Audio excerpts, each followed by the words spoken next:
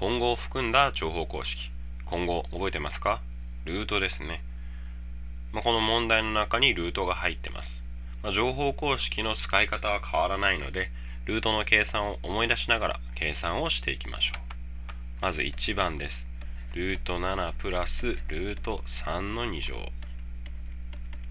2乗の公式を使います。ちょっと丁寧に書きますね。ルート7の2乗。真ん中に来るのは2倍のルート7かけるルート3です。最後はルート3の2乗が来ます。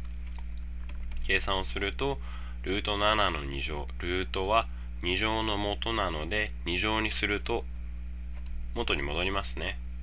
7プラスルートの掛け算はルートの中身をかけます。2ルート21プラス3です。計算できます。2ルート21プラス10これが答えになりますね。2番もやっておきましょう。2番を見てみると数字が同じ符号だけが違います。なのでルート2プラス2ルート5ルート2引く2ルート5は2乗引く2乗の形になりますね。計算します。ルートの2乗なので真ん中の中の数になります。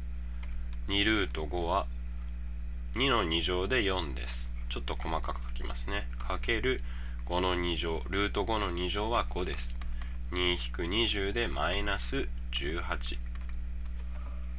ルートを含んでいる時も乗法公式の使い方は変わりません。ルートの計算をしっかり思い出しておくようにしましょう。